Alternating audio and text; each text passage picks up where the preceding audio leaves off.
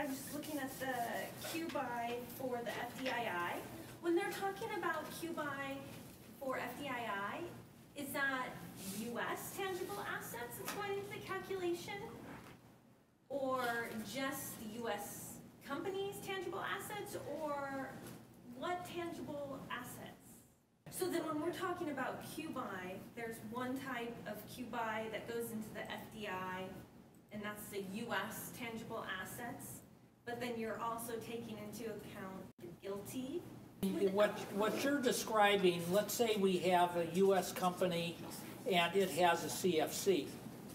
Yes. The US company, of course, can have its own, you know, fixed assets, you know, it can have a building, it can have equipment in that building, it can have, uh, you know, it's, it has an active business.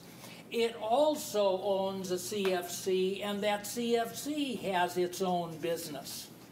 The US company from, you know, as a result of selling, uh, let's, in fact, let's take, uh, let's take Apple as a, uh, a good example here. I think what you said for Apple was that anything that's sold into the Americas is going to be part of Apple Inc. Okay, so sales made by the US parent to Canada, to Mexico, to Brazil, to Argentina, the US company is making those sales. And as a result, that will generate an FDII deduction for the US parent. Now, at the same time, the CFC, which in Apple's case is AOI, it is selling to everywhere outside of the Americas. It will cause, of course, GILTI.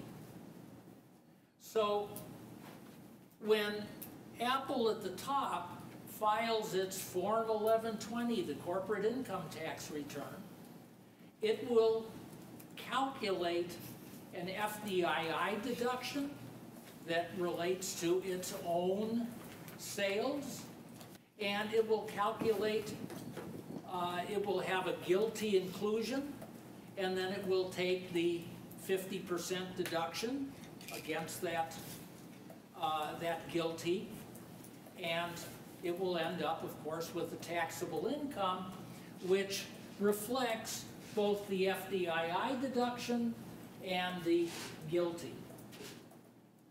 So the same US company can have both. It's not, it's, it's the different transactions that the parent has or that the subsidiary has cause an FDII effect, a, a GILTI effect.